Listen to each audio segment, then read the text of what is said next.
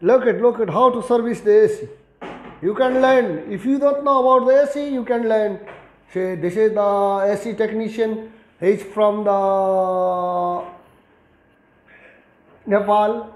He's from Sri Lanka. Yes, sir. Okay. He is Mr. Sensa.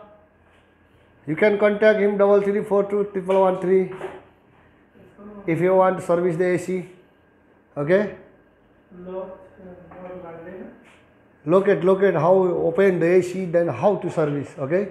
Plastic.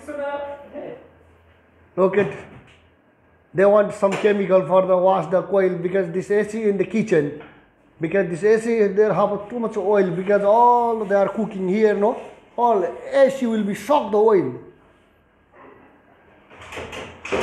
See see see see he is smiling also very nice. If you want service the AC you can call him because see he's looking coil AC coil this is the AC coil okay you can say this is the AC coil this, there is a PCB. Ah, okay.